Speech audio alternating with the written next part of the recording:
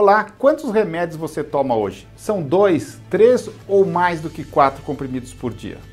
Pode ser aquela pílula para dor de cabeça, para o refluxo, para diabetes ou colesterol. Independente de qual medicamento você esteja tomando hoje, a verdade é que as estatísticas mostram que eles não tratam a causa do problema.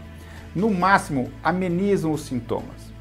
Basta acompanhar o número de casos de doenças crônicas que hoje temos no Brasil como infarto, derrame, Alzheimer e câncer, que só aumentam a cada ano.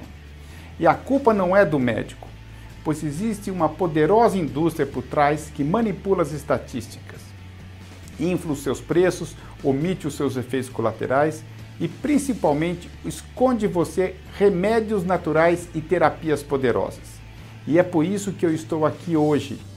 Meu nome é Dr. Wilson Rondó. Eu sou médico com formação em cirurgia vascular especializado em nutrologia, com mais de 22 anos de prática clínica.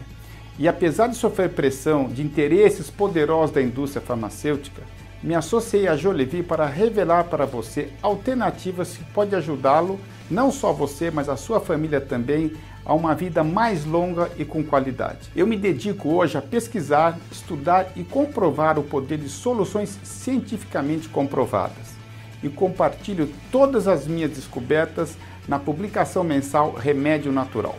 Todos os meses você recebe guias práticos de vitaminas, sais e alimentos superpoderosos, vídeos exclusivos, receitas saborosas, e-books e além de aulas ao vivo para você dominar o colesterol, baixar a pressão alta, acabar com os triglicérides e com a gordura no fígado melhorar a memória e a concentração, além de aumentar a força e alívio das dores no corpo, ter um abastecimento extra de energia e vigor e muito, muito mais. Clique no link